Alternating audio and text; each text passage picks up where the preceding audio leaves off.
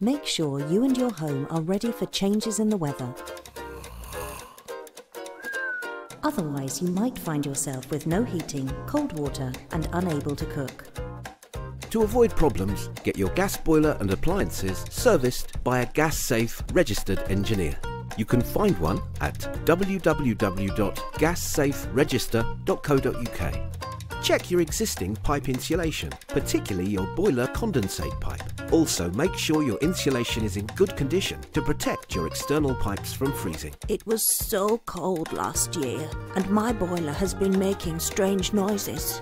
Look out for family and friends that need extra support. We recommend you sign up or sign up those who aren't able to the Priority Services Register, which helps gas and electricity companies look after customers who have additional communication, access or safety needs.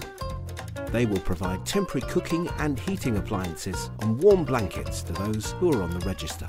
Keep an eye on the weather forecast, as changes in weather can impact people in many ways. Those living away for the first time may need a helping hand to stay safe, warm and connected.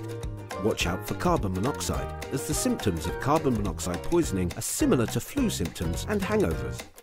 If you suspect carbon monoxide poisoning, call the National Gas Emergency Service free on 0800 111 999. Make sure you fit an audible carbon monoxide alarm and test it regularly and check its expiry date.